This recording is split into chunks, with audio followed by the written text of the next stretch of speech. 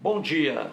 Hoje são 25 de junho de 2020, quinta-feira, Brasília, Distrito Federal. Vou ler aqui nesse vídeo um artigo que eu fiz no dia 4 de abril de 2012. 4 de abril de 2012, há oito anos. Eu fiz um artigo sobre a superstição, superstição religiosa do técnico do Corinthians na época, o Tite. Então, eu fiz aqui um artigo nessa época e vou ler aqui para você nesse vídeo. E vou colocar imagens de Curitiba. Eu estive lá há dois anos, na maravilhosa capital do Paraná, Curitiba. E você verá imagens de Curitiba. Então, ouça aí o comentário que eu fiz sobre a superstição religiosa do técnico Tite, na época técnico do Corinthians. Vamos lá. A humanidade, em sua quase totalidade, vive mergulhada na ilusão, na superstição. Hoje, domingo, dia 27, a partir das 17 horas, houve vários jogos pelo Campeonato Brasileiro. Os torcedores brasileiros estavam de olho principalmente em dois deles: Fluminense versus Vasco e Figueirense versus Corinthians. Se o Corinthians ganhasse do Figueirense e, ao mesmo tempo, o jogo entre Fluminense e Vasco terminasse empatado, o Corinthians seria o campeão do ano. Todavia, isso não ocorreu. O Corinthians ganhou, porém o Vasco ganhou também. Conclusão: a decisão do campeonato ficará para o próximo domingo. Assisti em meu apartamento ao jogo do Corinthians pela rede Bandeirantes de televisão, com Luciano do Vale, locutor, e o Neto, comentarista. Quando o Corinthians fez o único gol da partida, o placar do jogo entre Fluminense e Vasco estava 0 a 0. Ou seja, tudo indicava que o Corinthians seria campeão hoje.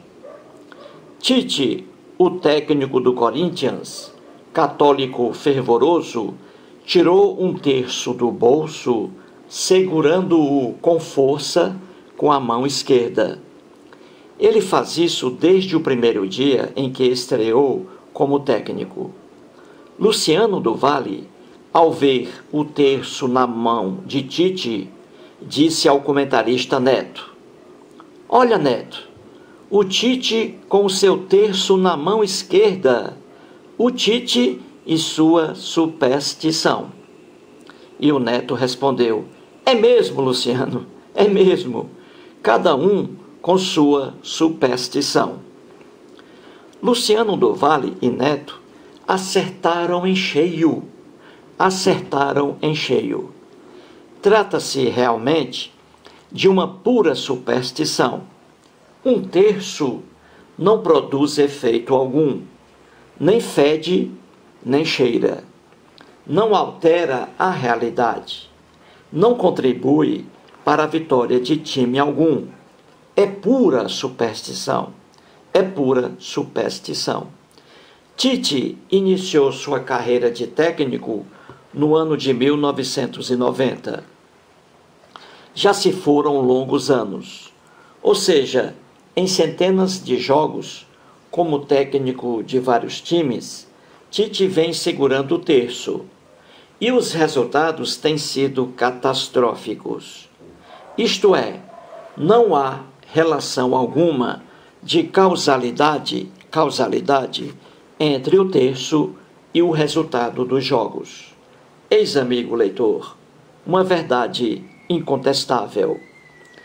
Tite, até agora, só tem ganhado alguns títulos estaduais.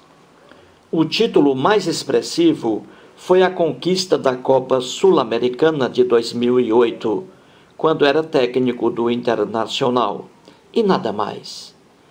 Tite, com o terço na mão, perdeu muito mais do que ganhou.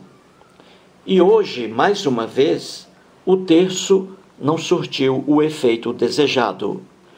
Quando o Corinthians já esperava ser o campeão ainda hoje, o Vasco fez um gol contra o Fluminense. Tite ficou triste. Logo depois, o Fluminense empatou o jogo.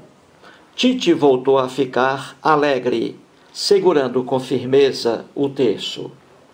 O jogo do Corinthians já havia terminado. Tite e os jogadores aguardavam o final da outra partida. Tudo, tudo indicava que o Corinthians seria o campeão neste domingo.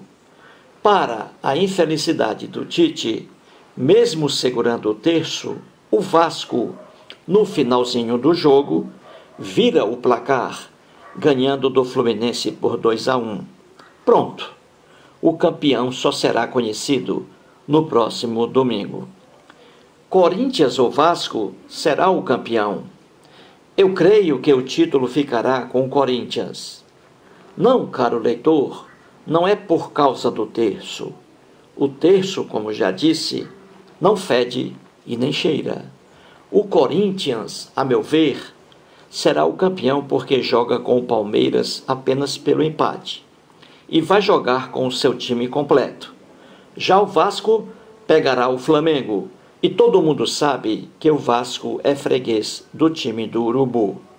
E, para piorar a situação, não contará com seu time completo, já que dois jogadores principais não participarão do jogo por causa de cartões amarelos. Portanto, tudo conspira a favor do Corinthians, menos o terço religioso. O terço é, pois, uma pura superstição. Segurar o terço, rezando silenciosamente, não altera o resultado de um jogo de futebol. O fiel é manipulado a acreditar que o terço faz milagres. Não faz. Não faz. O terço é uma superstição que se iguala a várias outras bater na madeira, passar por debaixo de escadas, ver gato preto, ler o horóscopo do dia, levantar-se com o pé direito, cumprir simpatias e outras bobagens. Obrigado.